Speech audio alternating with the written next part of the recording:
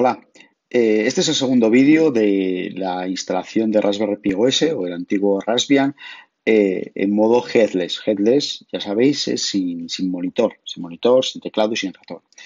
En el vídeo anterior ya tenemos nuestra Raspberry Pi configurada con el SSH activado y con la conexión a la Wi-Fi activada, ¿vale? Sin necesidad de teclado y ratón. Bueno, ¿Qué nos queda? Bueno, eh, ya veis, esto es parte de este artículo de instalación Raspbian que, tiene y voy a dejar el enlace abajo en los, comentarios.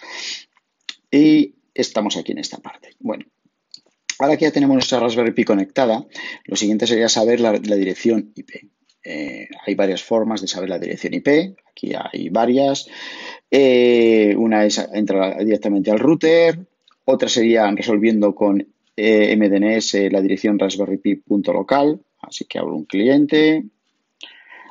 Si hago, vamos a ver,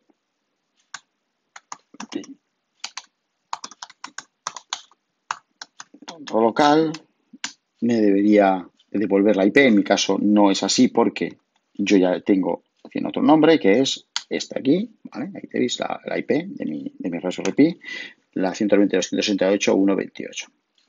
Vale, ya tengo.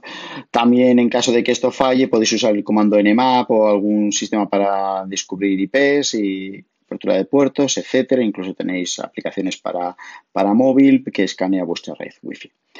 Muy bien. Vale, pues una vez que tenemos la IP, nos tenemos que conectar vía SSH para configurar. Lo que vamos a hacer al final es activar el, servidor VNC en nuestra Raspberry Pi, ya poder conectarnos vía VNC y ya poder trabajar como si tuviéramos nuestro teclado ratón y nuestro, y, nuestro, y nuestra pantalla. Eh, para eh, aquí en, SSH, al final del todo, habla de cómo configurar los clientes SSH.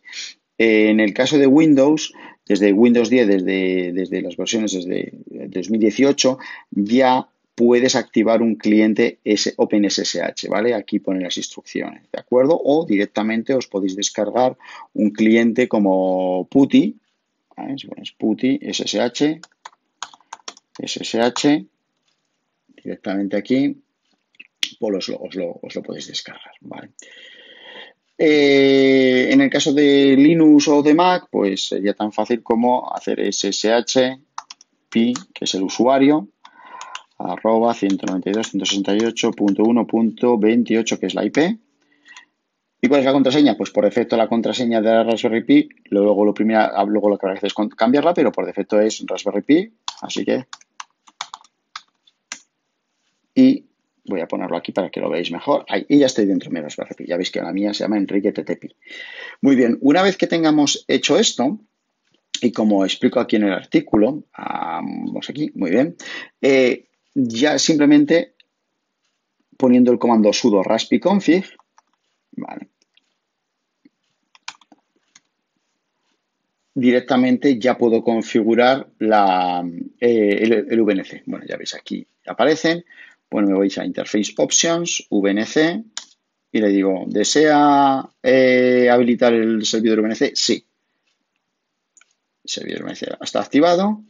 Finalizamos, salimos de la sesión SSH y ya estamos. Así que ahora simplemente instalando un cliente VNC, poquito más abajo, bueno, bastante más abajo, aquí hablo más de redes, etcétera, pero bueno, el cliente VNC es el Real VNC, vale, a ver dónde está aquí, aquí tenéis, Real VNC, instaláis el viewer y ya ponemos, entonces en este caso, pues voy a VNC, VNC, VNC Viewer, ya lo tengo instalado, y voy, en este caso, lo que haría es crear una nueva, una nueva conexión a la IP. En este caso ya la tengo preparada y ya veis que es le pongo VNC Server 192.168.198, la IP, ¿verdad?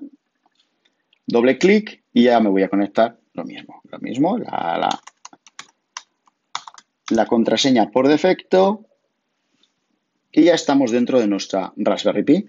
Así que ya tenemos nuestra Raspberry Pi conectada, funcionando, como si lo tuviéramos con un teclado un ratón, pero realmente me estoy conectando desde mi ordenador, desde mi portátil y puedo hacer cualquier la podéis tener como yo en una estantería ahí colocada y.